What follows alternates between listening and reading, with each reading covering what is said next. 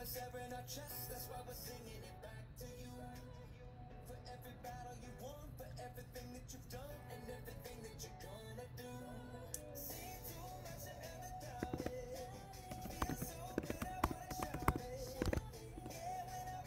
Good morning.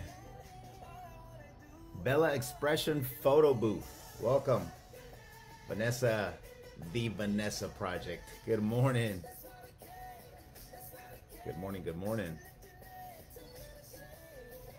Thanks for being with us. Good morning. Jeff, happy Father's Day, brother. Sheila, good morning. Senor Jeezy, good morning, brother. Happy Father's Day. Happy Father's Day, guys. Happy Father's Day. Thanks for being here with us. Thanks, man. Appreciate it. Excited.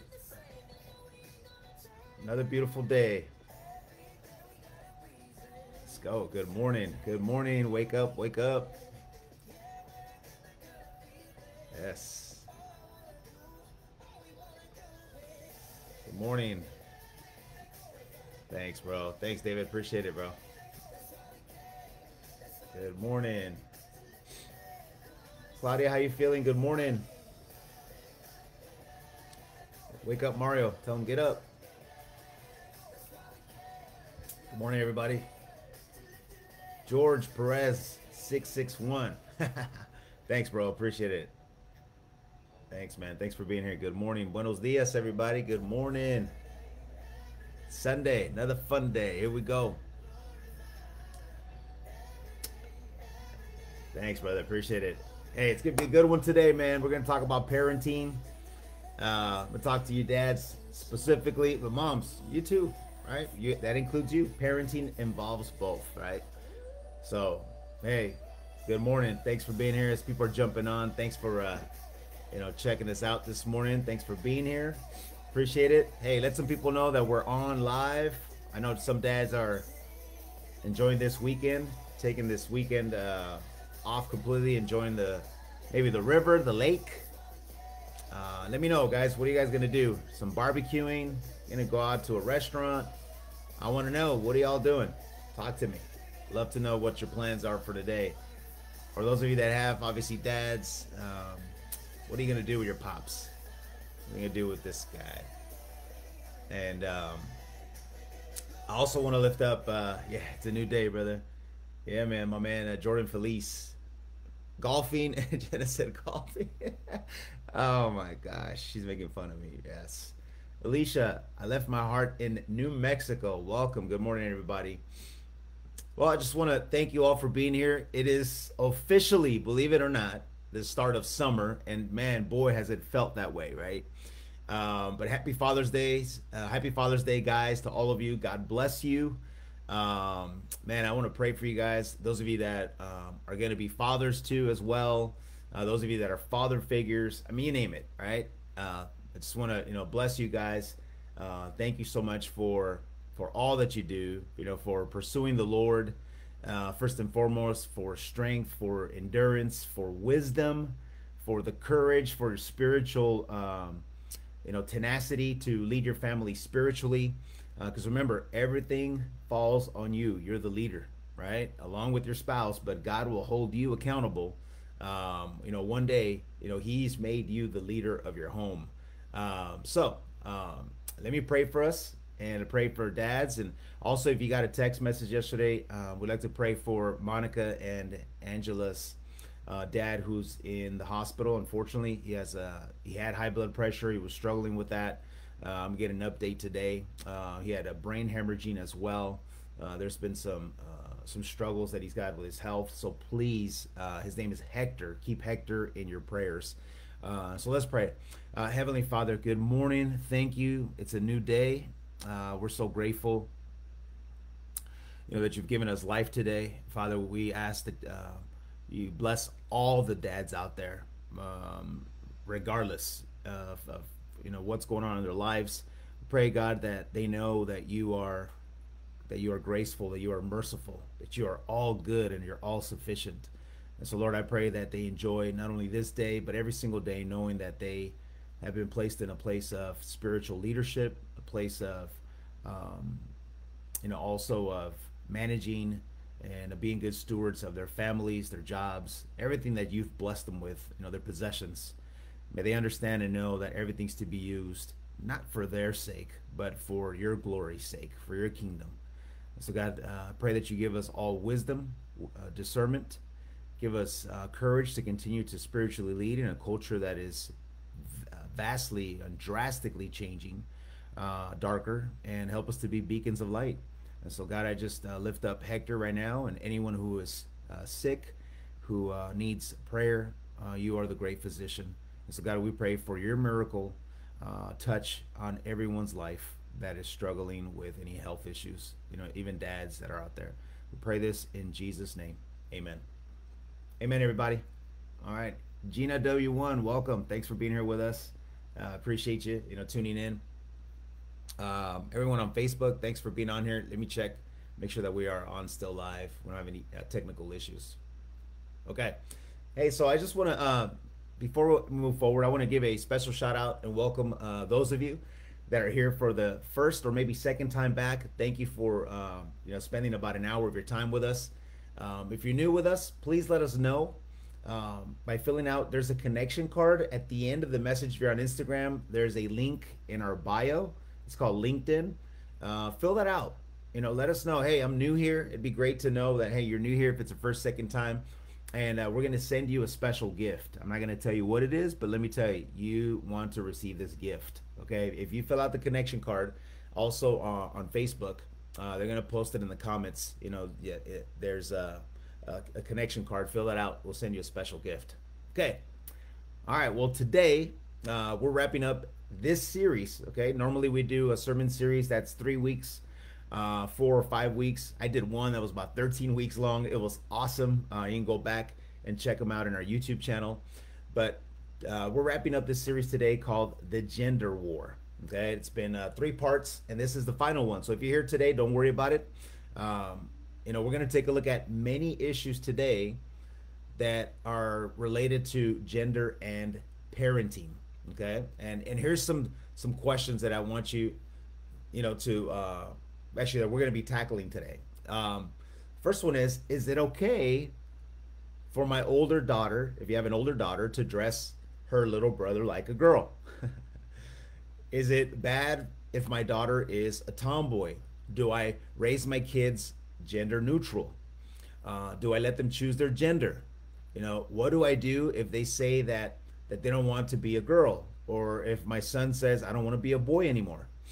And what do I do if they tell me that they identify with a sex other than their biological sex? In other way, in other words, the way they were born. You know, do I go along with it?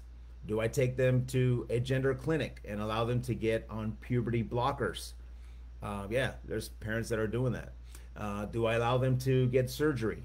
If I if I don't, will they become suicidal? Right. That's the first thing they tell you. You know, a lot of these children become suicidal and just how much self determination is a child capable of, or should I grant them as a parent? And so, so these are the questions of our day, right? And, and particularly for parents. And, and as mentioned, you know, we've been in this series on all things gender. And so before we tackle the the parenting challenge, I just want to do a quick recap for those of you again that are here brand new uh, even for some of us here, right? That that we've been showing up.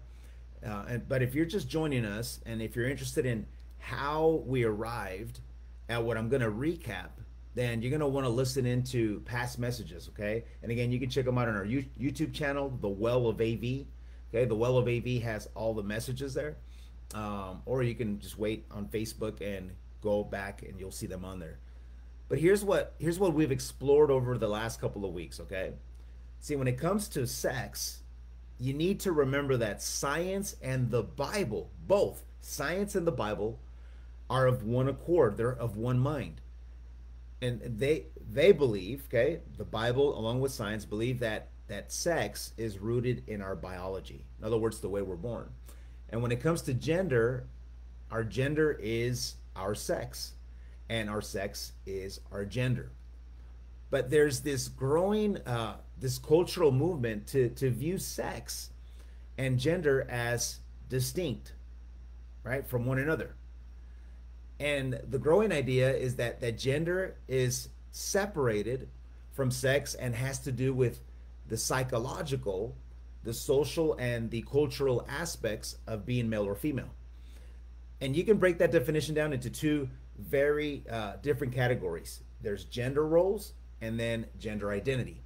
And so, what are gender roles? Well, gender roles, again, are described as the, the social and cultural aspects of being male or female. In other words, all things related to masculinity and to femininity. And this is all largely built around, you know, stereotypes. Like like the the early 19th century rhyme. I don't know if you guys ever heard this rhyme about boys. Uh, you know, boys are made of snips and snails and puppy dog tails. and girls are made of sugar and spice and come on somebody, everything nice. Yes. But again, these roles and, and these stereotypes they're generalities, they're not absolutes. And they have nothing to do with whether you are, in fact, a male or a female. But then, check this out. Then there's the gender identity. Okay, those are gender roles. Now we're talking about gender identity. And, and gender identity has to do with the psychological aspects associated with being male or female. Uh, what what is someone's internal sense of of self, meaning as a male female, or check this out, both. Someone may think that they're both male or female, or neither. So, which which is what brings us to the transgender issue. Okay, so the word again, transgender, it has become an umbrella term. Okay, you got to remember that it's an umbrella term for various ways that some people experience an incongruence between the way they were born, their biological sex, and their gender. Okay, so either their gender role or, or gender identity. Now, when there is true gender dysphoria, I left you some homework last time, so I hope you uh, checked out that those that terminology, right? Gender dysphoria. When someone when someone really has that, okay, someone really does. They they look in the mirror. Thanks, bro. Appreciate it. Real realtor Joe in the house. Someone really does look in the mirror though, and they see a man's body, right? and and they, they simply don't identify with or maybe they see a woman's body that they don't identify with and so their internal sense of self doesn't match with what they see in the mirror okay? Their biological sex. Now remember i also gave you a statistic though. People who identify as transgender they only make up 0.5% that's half of a percent everyone of the population. And what has developed of late in our in the cultural shift no longer feels that is something to be fixed or healed or cured. Please remember that, okay? But instead, it's something that people are affirming and they're also enabling children, I mean, as young as four years old, five years old. So, my question then is this where does that leave things in terms of the Bible and where Christianity would land? Where does it leave it? Well, one of those things I, have said th- throughout the series is that one of the first things that needs to be understood is that if you struggle with this, okay, hear me out. If you struggle with an incongruence between your biological sex and what you feel or think in here, you need to remember that you matter to God. Please hear me again. You matter to God. Okay? He, and He loves you dearly and He wants to meet you where you are and, and begin to take you on the journey that, that will most honor him because he is your creator, right? He is the, the, the one that made you. And he wants to bring wholeness and health to you. Please don't forget that. And second, while, while there should be great compassion, I believe firmly, from the church for, for people that are suffering with any type of brokenness, such as gender dysphoria, that's what we're talking about, See, the Bible would clearly guide us away from letting that dysphoria determine who we really are as men and women. Please don't disregard that. Because while there should be acceptance of, of people that are struggling with gender dysphoria, and, and, and let me tell you, they're really they're they're very real challenges that they face. You know, that doesn't mean everybody that there's a, a blanket affirmation of the various ways that people can respond to their dysphoria. And as a result, the Bible never, listen, the Bible never condemns people, right? Trans people, I should say. What it condemns is the actions of choosing to live in denial of their biological sex. So, uh, so hear me out. Rather than dressing, uh, uh, you know, as the opposite of our sex, or pursuing hormones or or surgeries to alter the our biological sex, right? Scripture would ask us instead to seek to accept our biological sex as as the way God made us to be. All right? So our brokenness again isn't immoral. Our brokenness, let me repeat that, isn't immoral. But there are moral choices that flow from how we respond to our brokenness. Please don't forget that. And I said this last week, right? We're all spiritually broken. Can I get amen, everybody out there? Hearts and some likes. We are all spiritually broken. We're the church. None of us are perfect. There are no perfect people in the church, everybody. Okay. And if you think you are, listen, you're in the wrong church. Let me tell you that right now. Okay. We're all spiritually disabled. And here's the thing we all need to bring whatever we're struggling with to the cross, to Jesus, including gender dysphoria. Right? And we need to bring it to the leadership of Christ and, and live out our life in a way that honors him. So, if you're trans, God's call on your life is to is to help you get the help that you need to manage okay? To manage your your gender dysphoria in light listen in light of a relationship with jesus. And and to surround yourself with people who, who are going to serve you to help you live in accordance with your biological sex.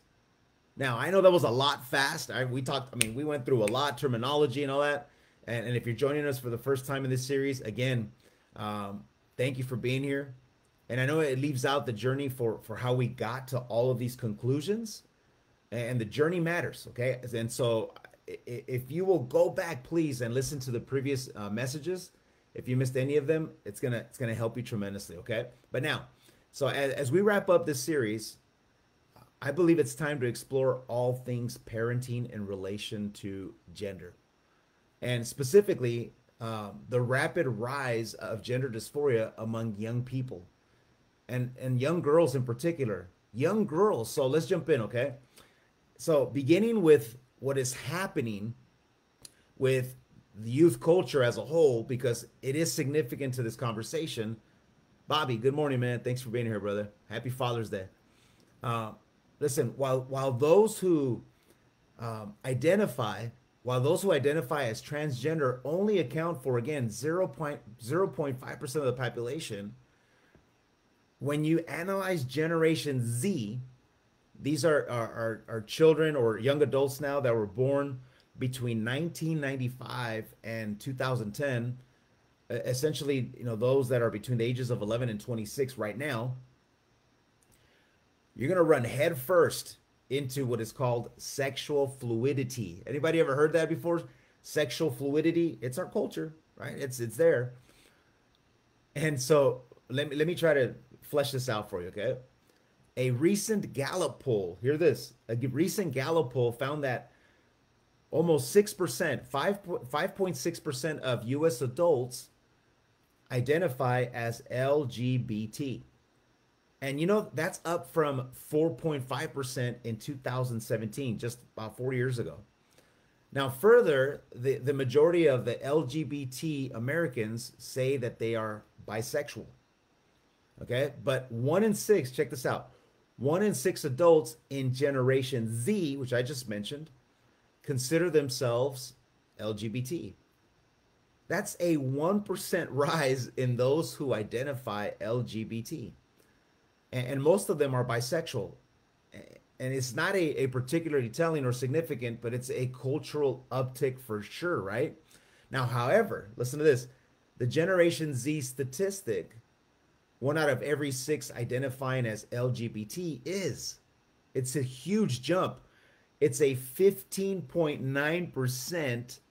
Uh, uh, it's 15.9% of the entire generation of Generation Z, everybody. That's huge. 16% almost. And the vast majority uh, of those, they say that they are bisexual. So here's my point. If you're a, a, uh, a cultural analyst, and you want to look at this through a social science lens, I mean, you're going to ask yourself, what is going on, right? What is going on with Generation Z? Why is it such an outlier, right? And, and it's not so much a true shift in, in sexual orientation as it is, everybody, a new openness. Hear me out. It's a new openness to all things sexual. You see, this is the generation that, again, has come up in an age in the era that era that has put such i mean these types of things in the mainstream you remember back in in 2015 right what happened well the supreme court they legalized gay marriage that was just six years ago and then what happened with uh, bruce jenner you guys remember that right in front of us in reality tv right the, this former olympian um, uh, male biologically sex male you know, very publicly became Caitlyn Jenner.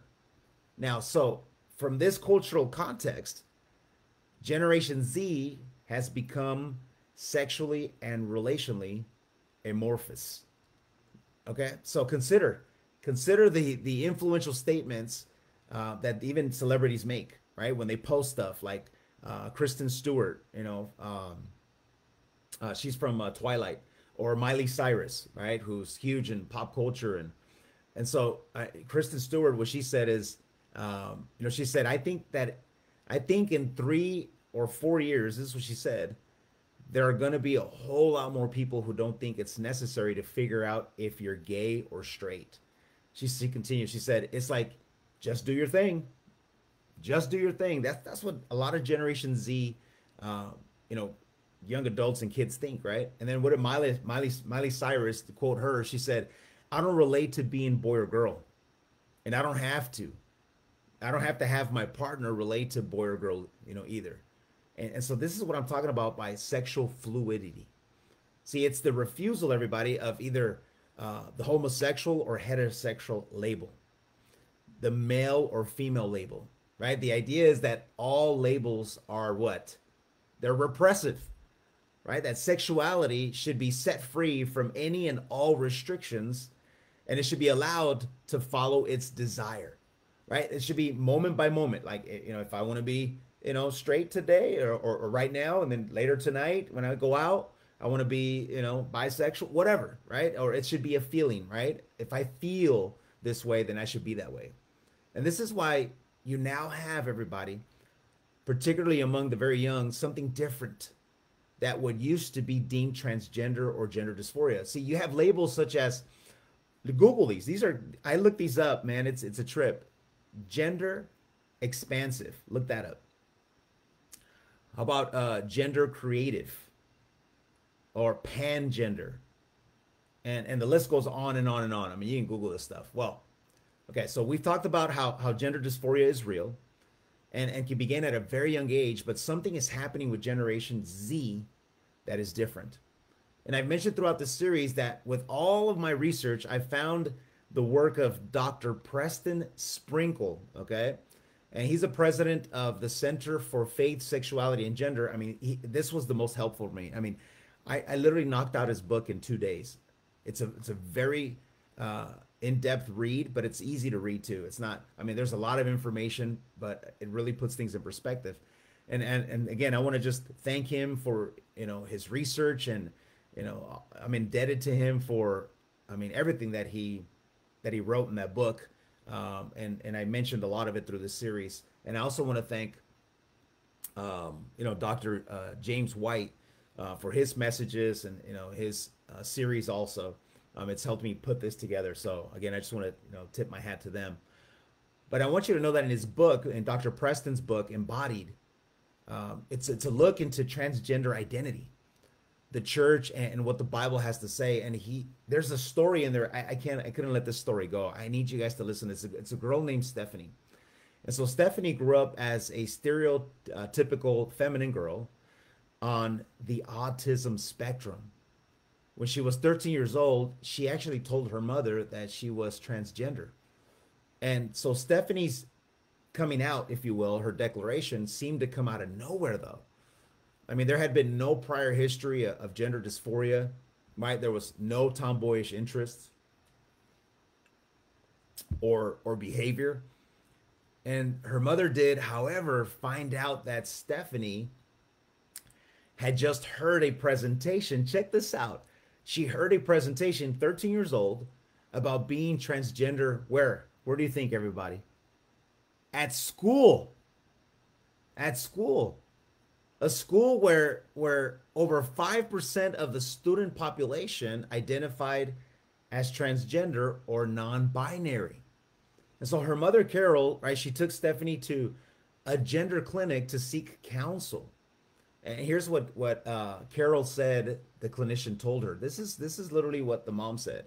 She said, "I must refer to my daughter with masculine pronouns." This is what the what they told her at the clinic, and call her by a masculine name, and and buy her a binder to to flatten her breasts. And he recommended no therapy, and there was no consideration of the social factors that obviously affected her thinking. In other words, the school pushing this agenda and I was directed to put her on puberty blocking drugs. How crazy is that? Then she added, I was falsely assured that these drugs were well studied and that they were a perfectly safe way for her to explore gender. I was told that if I did not comply, she would be at a higher risk of suicide. And let me give you another story. Helena. Helena was 14 when when she felt that she might be attracted to both boys and girls. And she began to explore what, what this might mean for her through online community on Tumblr. You guys got to be careful out there, parents, right? It, it was there that she learned about various gender identities. She read story after story of people identifying as trans. And eventually she started relating to stories, these stories that she was hearing, and she began identifying as trans. Helena, right? Again, not even a teenager, learned on Tumblr that taking testosterone, again, this is on social media, was the next step that she had to take as a trans person. And so she began cross hormone therapy or CHT. And then she found that getting the testosterone was easy. Listen to this. All it took was one hour, everybody 60 minute consultation, one hour with a counselor who asked her about her dysphoria. You know, looking back on it, Helena said, I had all these rehearsed answers that I didn't genuinely believe. But it was really popular for the trans community to help each other. Listen to this rehearse the answers and tell each other what to say to the doctors. So Helena was on CHT for two years. And it wasn't long before problems began popping up. Again, let me let me just speak for her. What she said. She said, it's a common thing for women on testosterone to experience a lot of anger. Then there's the weird phenomenon where you get upset and you want to cry, but you can't cry. And eventually, these kinds of problems started getting more apparent, and I started feeling miserable. She says, I was angry like all the time. Everything made me angry. I felt like I had been put through the wringer with all these emotional changes. She said it really messed my mental health. She also learned that high doses of testosterone in females often cause their ovaries and their uterus to atrophy after about five years. Helena was miserable emotionally, physically, and mentally, everybody. And at some point, she remembers that she just had to, to say that this was not working. And so ultimately, Helena decided to detransition everybody to detransition back to a female. And and what happened is in the last few years, uh, stories like Helena's and Stephanie's, they have grown tremendously. Again, especially in little girls, right? And some are calling this the rise of dysphoria in teens, a significant and real trend. I mean, psych- psychologists have actually termed this trend. They call it rapid onset gender dysphoria or ROGD. Again, rapid onset just gender dysphoria. And this is a new phenomenon. And so classical gender dysphoria usually is apparent at a young age. Even as young as the ages of 2, right? 2 and 4 when they begin to grasp that that biologically they are a boy or girl. Okay? So so the vast majority everybody they grow out of this by the time they hit puberty, but it's it's almost always been an early onset. And so what's happening today is is late onset dysphoria among children, right? Often after puberty. And it's and it's it's seeing a sudden leap, particularly among young female teens. To let you know how big of a spike, um, the Tavistock Center in London, which is the main gender clinic in the United Kingdom, they treated 17. I want you to hear these statistics, okay? They treated 17 females in 2009, and they treated 1,740 females uh, in 2019. And so that's a a 5,000. Listen to this: 5,000 increase among females in just 10 years. And so research on on ROGD among teens has found some interesting dynamics. Let me give you some of these. They found that few of the children showed any signs of gender dysphoria to their parents growing up. That's one. Their new identities seem to appear out of the blue. Many, if not all, of these children, uh, uh, um, of their friends at school, they were trans. They had friends that were trans, and they were coming out often following uh, their friends coming out as trans. Many of them became more popular. That's huge. They, they love popularity after they came out as trans. They engaged in heavy online and social media activity. Okay, again, more than normal, surrounding their, their coming out.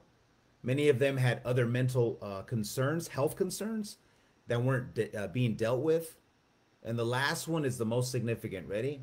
Here's what the study found 63% had one or more diagnoses of a psychiatric disorder or a neurodevelopmental disability preceding the onset of gender dysphoria. Here's here's the breakdown, ready? 48% had experienced a traumatic or stressful event prior to their onset of gender dysphoria. 45% were engaging in non-suicidal self-injury prior to the dysphoria like cutting they were cutting themselves. 15% had been diagnosed with ADHD. 12% had been diagnosed with OCD. 12% uh, were on the autism spectrum. 7% had an eating disorder. 7% were bipolar. Again, all of these were present before the kids came out as trans. And get this when these kids were, were taken to a gender therapist or a physician to explore transitioning, listen to this number 72% never explored issues of mental health or previous trauma or any alternative causes of gender dysphoria before proceeding with assisting the transition. See, even when they were informed by the parents uh, of previously um, having uh, di- being diagnosed with mental health issues. I mean, that's crazy, right? And the study also found that the children believed through what they had read online and been told by others that transitioning would solve their problems. Come on. Hey, if you transition, you know, if, if, if whatever you're thinking here, you know, turn, let it become physical. Like, go for it. They, they, they're told that transitioning will solve their problems, even their previous mental health issues. In other words, that that was the golden ticket. So, here's my point. If you add all of this up, you have this new sexual fluidity, right? The first generation growing up online and a spike in gender dysphoria at a late age often preceded or accompanied with peer pressure. Toward what? Toward that dysphoria, and it's accompanied by mental health issues. Please don't miss that. Listen, church, this sounds more, you know, like more of, of a parenting issue then. Than, than get them to a gender clinic to transition issue, doesn't it? Come on, right? So let's talk about what to do as parents. Here's where we're to nail this down. Dads, moms, you got to hear me out on this. First, when it comes to gender roles, hear me out, please. I want you to take a, a big breath right now with me and just relax. Okay, just relax. You see, gender roles, we talked about this, I think, in the first week. I mean, these are largely built on stereotypes, right? I mean, anybody who's raised kids, and I've raised kids, trust me, I, I've raised three that are 18 or over already, and now I'm raising in the next three, yep, that are 12 and under. And you all know that that boys sometimes when they have sisters, right? They'll they'll dress up as girls and they'll they'll play with dolls and and, and the girls will do the opposite, right? They'll dress up as boys and play with a lightsaber, right? And and throw a football with the boys. And I've even seen you know big sisters, you know, going to dress up their, their little brother and and have a little tea party with him and, and he'll go along with a great big smile, knowing something's weird, right, on his face. But you guys know what that's called? It's normal. right? It's called normal. And there are some girls who are more tomboyish, right? They don't like dresses. They like wearing jeans only. They don't want long hair. And I mean, but that doesn't mean that they aren't girls. So don't be ruled. That's what I'm saying. Don't be ruled by stereotypes, right? Their maleness or their femaleness is rooted in biology. And that should be upheld, is what I'm saying. The way they're born, regardless of how much they fit the mold of current expectations of masculinity or femininity. In other words, how they're acting, right? You shouldn't feel weird about it as a parent. And you shouldn't make them or allow anyone else to make them feel weird about it as a child. Now, guys, with that said, when it comes to gender identities, we're on, on much more serious ground. Please hear me out. When it comes to gender identity, okay, see, I, I'm very concerned about what is happening when it comes to, to children and gender identity. See, children, they're being encouraged to come out as transgender at very young ages. And it's often connected with peer pressure, right? Or culture and and internet encouragement and, and mental health issues. And parents, I mean, I know you're feeling pressured, you're feeling pressure to immediately put them on cross hormone therapy on CHT. And, and you're often being told that it's that it's medically or psychologically necessary. And even for things related to gender roles, hear me out, gender roles versus gender identity. You see, according to, to one advocacy group, uh, called the World Professional Association for Transgender Health. Children, everybody, who transition should include gender non-conforming individuals. Meaning, here's what it means anyone who doesn't conform to gender stereotypes, such as a boy who prefers a violin to football. They're saying that that's a sign that he's he's not really a boy and should consider transitioning to a female. I mean, isn't that? Come on, man. Okay, look, we we have we have. Let's just call a timeout on this. Okay, let's call a timeout. You need to know that this is very dangerous, and it's very irresponsible. Let me read to you what Colin Wright. He's a, uh, a, a an evolutionary biologist at Penn State, and also Emma Hilton. She's a developmental uh, biologist at the University of Manchester, and they wrote this in, in the Wall Street Journal op-ed piece. You know, they wrote about this. Here's what they said. I'm going to quote them. The most vulnerable to sex denialism are children when they're taught that sex is grounded in identity instead of biology. Sex categories can easily become conflated with regressive stereotypes of masculinity and femininity masculine girls and feminine boys may become confused about their own sex.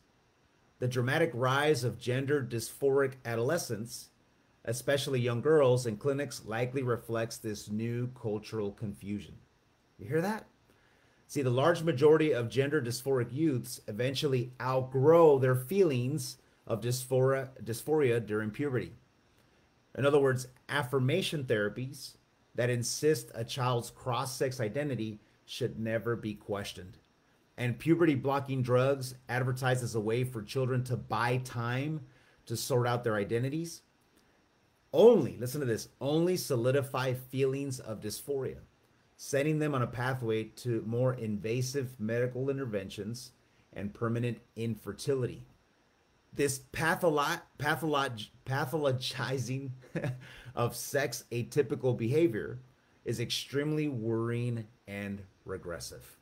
Do you guys hear that? I mean, this is these are scientists, okay, and psychologists.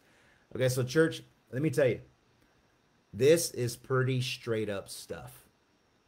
Okay, drugs and surgery or, or stopping puberty is not the way to raise a 12 year old girl that is wrestling with her identity, right? Or searching how to fit in at school.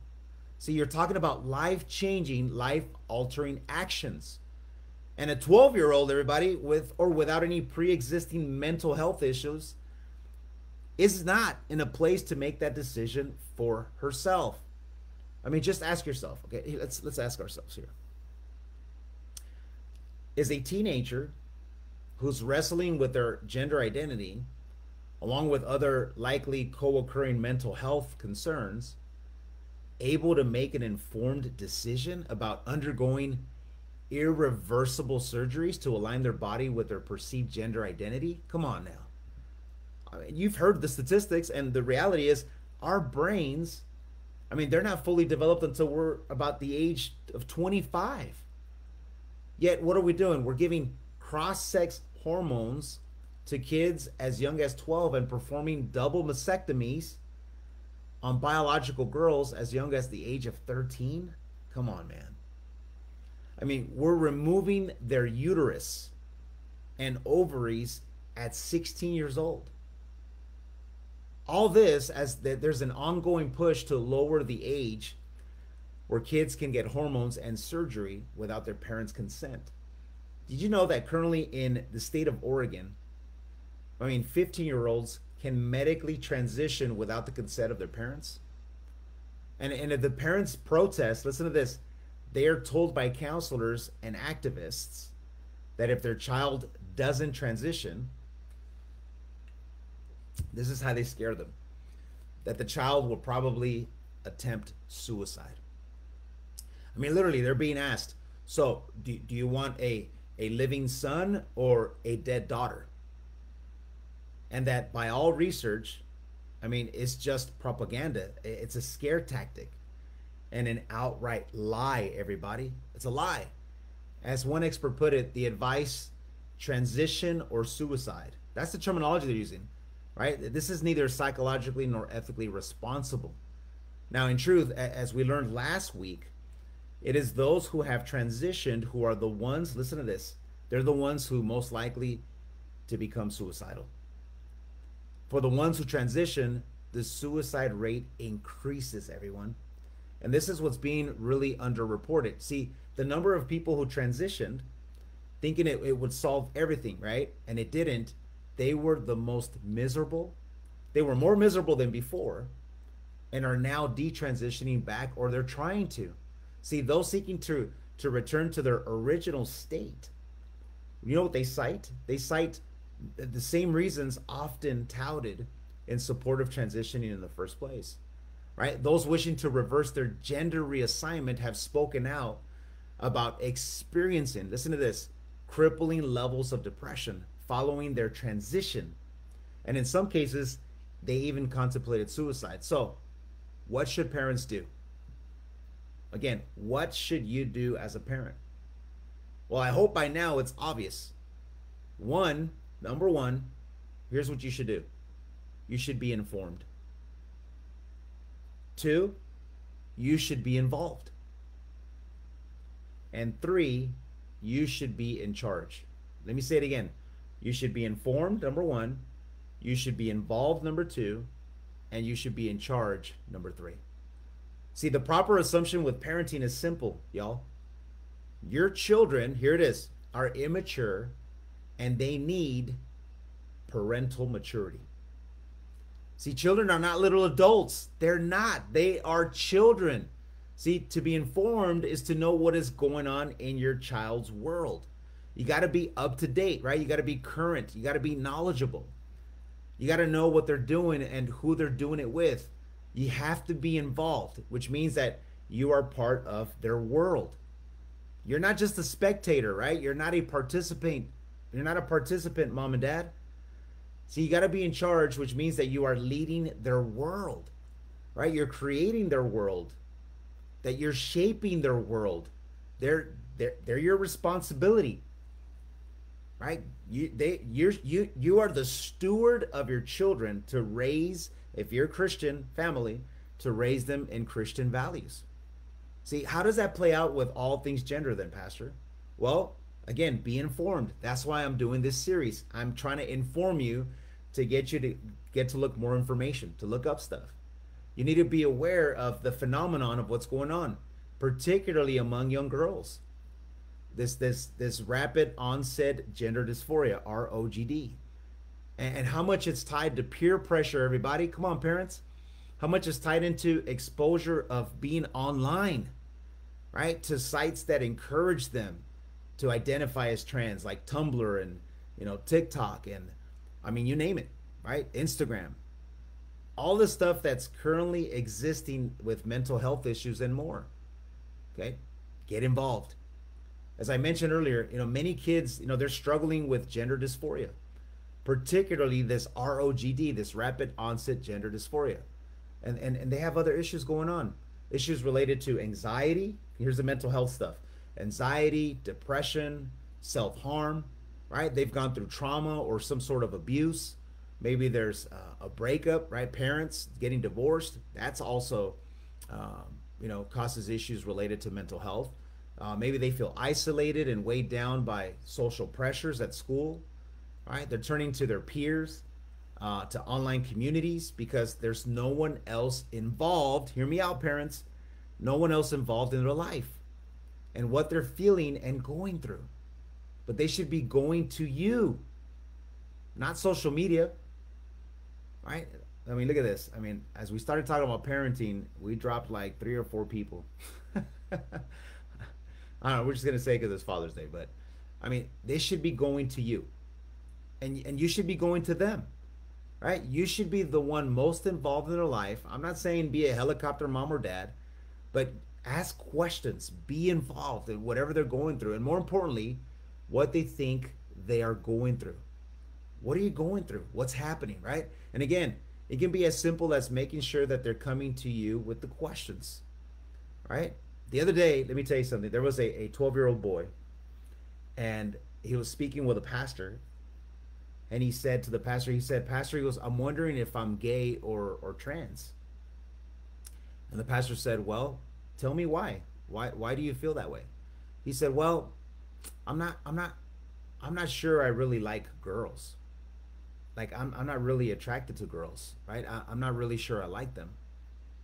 And the pastor, you know, said, "Well, how old are you?" He said, "Well, I'm 12." and the pastor's response was like, "Well, I'm married with with three kids now, and at 12 years old, I mean, I wasn't sure that I liked girls." But you know what that did, that conversation with this 12 year old boy? It put this boy at ease. And he told him, he said, Look, he said, that's not a sign, my friend, right? That's not a sign. But it was it was really troubling this young boy, this 12 year old boy. And listen, we here's my point. We we've just got to keep those kinds of conversations going with our children.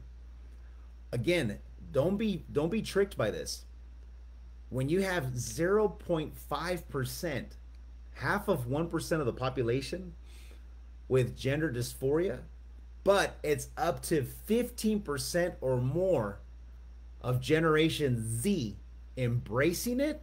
Come on, somebody. I mean, something's going on, right? And it's not dysphoria. See, it's cultural. Trust me, it's cultural. You've got something being socially pressured or socially influenced. I mean, let's just talk about you know this month, June, right? The the push of you know LGBTQ plus. I mean, I don't know. My question is, how does that happen when it's Father's Day, which is again, I believe, a cultural push against you know males, dads, you know, leading their families. Pride Month in the month of June. I mean, listen. Here's if you know your child has excessive internet use. I know we had to monitor it because I know it's been a drastic change. A lot of things have changed with the pandemic. You know, they went to school online, but if they they have excessive internet use, especially social media, you need to know that when it comes to gender and sexuality, the internet, everybody, is a hot mess. Not only because of porn, right? And, and no make mis- don't make make no mistake here. No other generation has had pornography so available in such degrees at such a young age as Generation Z. And did you know that the average age right now to view porn of, of kids is 11? Kids at 11 years old are viewing pornography. But also because of the sheer amount of time that's being spent, uh, that they're exposed to everything about sex and gender online, which again is a hot mess. And so when parents were surveyed, you know what they thought? They, they surveyed them and said, How long do your kids are usually on, on their phones? The average adult said, parents said, oh, about an hour a day. But you know what the study found? It found that while parents thought it was a little over an hour, the reality was that their children were on their phones or their iPads uh, for an average of three and a half hours a day. Three and a half hours a day, everybody. But here's the good news again, you're in charge of that. If you know that your child's friends eh, eh, are wanting to explore opposite sex identities, or you see them dressing in that way, guess what? You're in charge of that too. Right? Meaning your kids, who they're hanging around with. See, every step of the way, parents, you're in charge. They are not. Right? A gender clinic is not in charge. Their peers are not. Our culture is not. Can I get amen out there? I know some of you probably bored with this, but let me tell you, this is imperative. This is important. You, you as a parent are in charge, and you need to quit acting like you're not. Quit acting like you're helpless. So please, listen to me, step in. Listen, studies have shown that the vast majority of children who start to show transgender tendencies or other types of gender dysphoria, they will naturally grow out of it, particularly if the parents don't cater to it. You guys hear me? If the parents don't cater to it. I mean, that really is the best counseling and advice that I can give to you as parents, right? Your child is not in charge. Some of us need to work on our codependency, right? Their friends are not in charge. Their school is not in charge. You, you are in charge. You know, at, at five years old, your child does not have any concept or understanding of gender, period right? They, and they don't have much of it either at 12 or 13, right? They don't have the maturity, everybody, to make decisions or get in touch with who they are or who they're supposed to be. See, the, the entire enterprise of parenting is that is that they are immature, and you you should be the mature one, right? That they desperately need your maturity. They they need your leadership, your direction, and yes, guess what? Your control.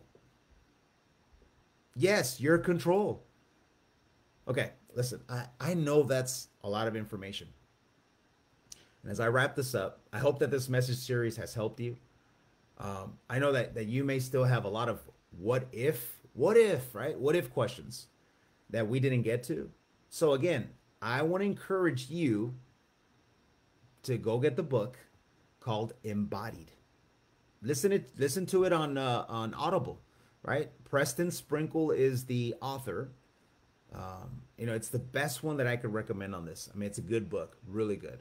It's called Embodied Transgender Identities, the Church, and What the Bible Has to Say. Okay, so next week, all right, we're going to start a brand new series. I'm really totally excited about it. It's going to be a total different feel and tone. Um, and we're calling it What's Next After I Believe. What's Next After I Believe? Okay, so have you ever asked yourself, all right, what's next in my spiritual development? Like, what's next? Right, and, and I believe it's essential, and it's the way that someone truly becomes a fully devoted follower of Christ. And so, in this series, okay, starting next week, next Sunday, I'm going to walk you through the basics of growing your faith, connecting with the church, and teach you how to have a solid foundation to build a vibrant, listen to this, life with Christ. So I want you to come back next week. Okay, this series again. If this is your first time joining us and you hung in there with me, um, you know, go back, listen to the messages on our YouTube channel, The Well of AV. But I want you to come back, and I also want to invite somebody next week, okay, that may have questions about their faith. Okay, uh, even you. Thank you, Gina W1. Good service, Pastor. Amen. Well, God bless you. I'm glad this blessed you. Um, and so I want you I want you to come back, okay? Because we're going to talk about discipleship. What's the next step? I know there's a lot of new Christians, a lot of new people that have, you know, made the decision to follow Jesus and you're like probably thinking, "What's next? What do I do? Do I just tune in online? Like, like what's the next step? Do I go to a church, like physical location near me? I know you're probably watching from different places. Well, come on back, okay? We're gonna talk about that. Finally, I just want to give you an update with our Kicks for Kids fundraiser. Hey, everybody, let's give a huge round of applause or shout out or hearts and likes out there. We have raised almost $30,000. Come on, somebody. Of, of our $50,000 goal. Let me see some hearts and likes out there. $30,000 almost. I want to thank all of you for posting, resharing our posts, uh, for forwarding the emails that we've sent out about the shoe drive, videos. I mean, I want to thank all of you for uh, donating generously. Um, I have a story. Sheila Andel, who's probably still on here, you know, she uh, private messaged me yesterday and was like, Pastor, you know, I went around my office, you know, we're back at work, you know, and uh, I passed out the flyers that you mailed to us. And uh, we're really excited about it because I raised, listen to this, she raised $400 at her office, at her job. She went around with a flyer and told people about it. So proud of you, Sheila. And if you guys don't know Sheila, she is super shy. Uh, she wouldn't do this on a normal basis, but she's like, hey, it's all for the glory for God, His kingdom, and these children. And so, Sheila, I'm super proud of you. Thank you for uh, getting out of your comfort zone and uh, blessing these children. 400 bucks, everybody. I want to invite you to do the same. So I just want to pray for this offering. If you're ready to give, uh, give. Uh, you can you can click the um, the um, the fund that says uh, Kicks for Kids, or if you're tithing, you can obviously give to tithes and offerings. But again, thank you. Uh, please continue to share all the information and invite others to give so we can bless a thousand kids with a pair of shoes. Let me pray for us, and then we're out of here. Heavenly Father, thank you so much for this morning.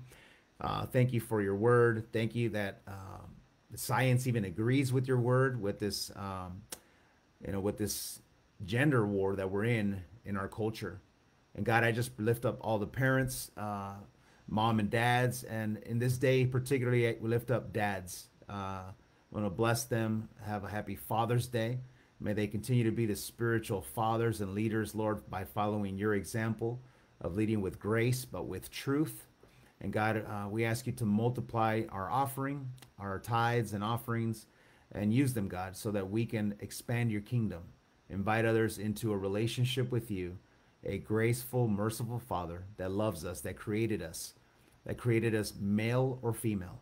And God, we rebuke this culture, um, you know, what is trying to push this agenda on um, making us believe that we are not our biological sex, that we are what we believe, what we think, what we feel. God, we rebuke that in the name of Jesus. And we ask you, God, to continue to use us to lovingly invite people that are struggling, that they are welcomed into your kingdom because you created them and, and that you love them and you want them to have a relationship with you and you'll help them flesh this out. God, thank you. We love you. In Jesus' name we pray. Amen. All right, everybody. God bless you. Again, thank you for being here uh, this weekend, and uh, look forward to seeing you next weekend. We'll talk to you then. Happy Father's Day. Talk to you later, guys.